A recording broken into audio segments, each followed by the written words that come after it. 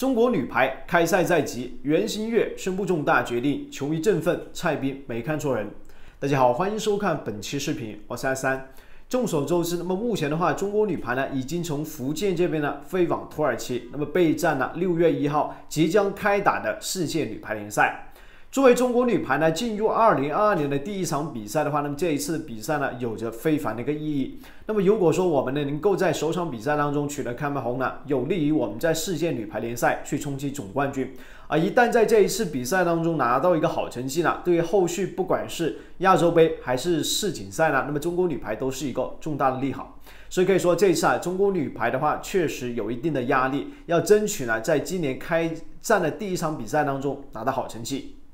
而这一次的话，对于中国女排来说，既然说有一定的一个压力啊，实际上对于所有球员来说呢，想必身上的重任也是非常大的。尤其是作为新任队长袁心玥呢，这一次她的整体的应该呢，也会面临比较大的一个压力和责任。毕竟呢，这一次啊，中国女排的官宣她成为我们的一个新的队长的话，实际上对于袁心玥来说呢，她本身除了队员之外呢，也承担起了一个整个去带领球队取得好成绩的一个重任。这一次呢，她作为队长，能否能够完成外界的一个期待，完成中国女排教练组安排给她一个任务呢，也是非常关键的。所以对于袁心玥来说啊，其实是压力，也是动力。因此呢，就在最近啊，为了更好的以更好的一个姿态和态度以及心态去面对这一次这个比赛，那么袁心玥在我们中国女排即将开赛之前的话，也是在出发之前呢做了一个重大决定。那么这个重大决定呢，让很多球迷都看到了袁心玥的一个决心。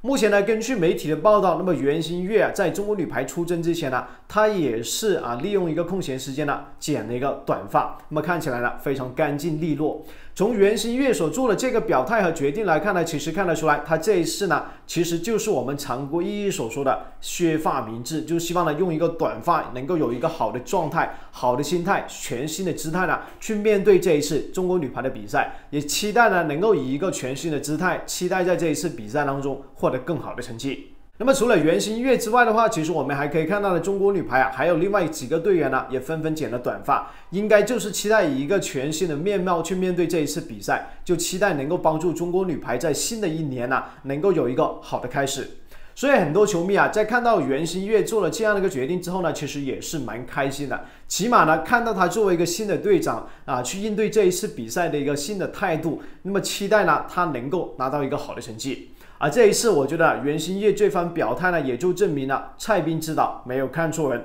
袁心玥呢，确实他已经知道自己身上肩负的东西，所以呢，他现在的话也是希望用这样的一个态度呢，去表明自己的一个整体的一个看法，也期待后续能够带着中国女排能够去建功立业。而且呢，在近期啊接受采访的时候，其实袁心玥呢也已经表示说呢，自己接下来的话会承担更大的一个责任，也希望自己呢能够快速成长起来，能够完成大家的一个寄托，在这一次比赛取得好成绩。所以从目前总的情况来说呢，我觉得其实啊，目前的话虽然说呢，这一次中国女排是一支老中青结合的一个队伍，但是大家呢已经是明白自己身上肩负的一个责任。相信啊，只要接下来中国女排呢能够发挥出我们的一个实力的话，这一次呢在世界女排联赛当中获得好成绩，应该不是太多的一个问题。那么我们球迷呢，在国内的话，也希望能够给到中国女排这些姑娘们呢，在海外更多的一些信心和支持。好了，本期视频就聊到这里，我们下期继续开心聊球，拜拜。